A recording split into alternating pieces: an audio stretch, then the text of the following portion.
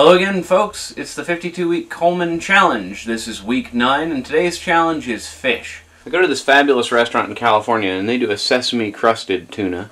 So I'd like to try and simulate what they do. I've got some soy sauce here mixed with honey, and I'm going to just coat my tuna with the honey soy sauce mixture. Just get it on there on both sides. And now we will make with the sesame seeds.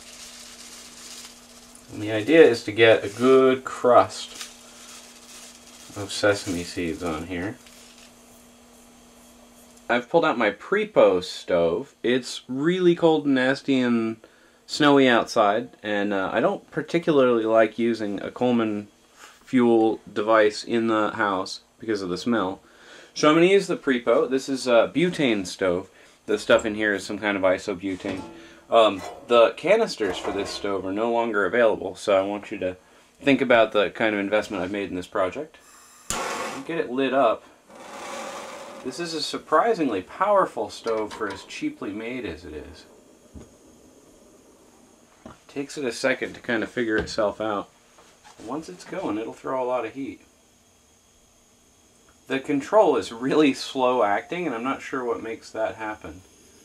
So you turn it up, and then the flame gradually builds.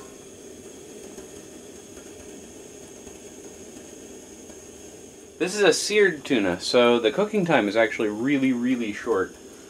Just getting the pan good and hot.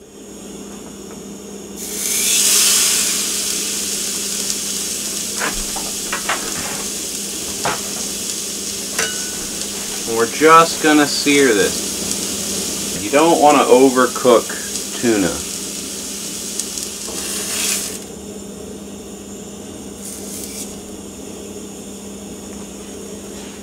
Pan is definitely not as hot as it should be. It's not cooked real well on the outside. Give a little more heat. Alright, that's all done.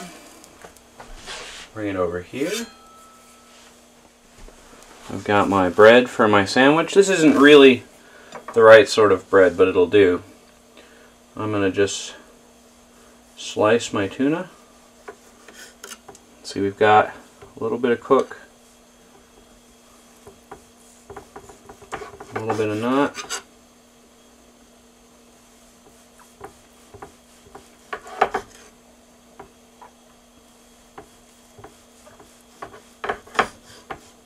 Transfer to our red. Do a few little greens first.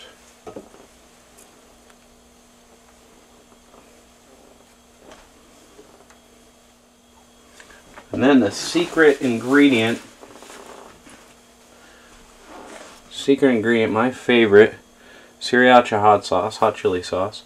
Just a light shot of this. If you don't like hot sauce, you could make up some kind of mayonnaise based sweet sauce to go with this.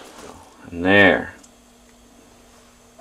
are crusted tuna sandwich.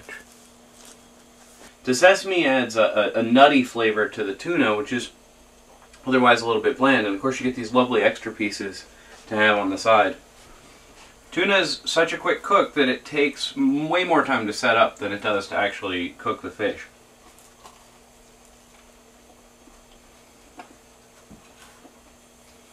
Mmm. That's tasty. Well, we're nine weeks into this competition. I've used, uh, what, four or five? Five, I guess, different. Oh, six. We got to count Chris. Five or six different stoves. Um, I've gotten to have my lanterns out. This has been a, a really fun uh, challenge it is a tremendous amount of work to break out a stove every single week and cook something, and, and uh, you got to hand it to the people who are keeping up with this challenge. So, anyway, that's week 9. Bring on week 10, double digits.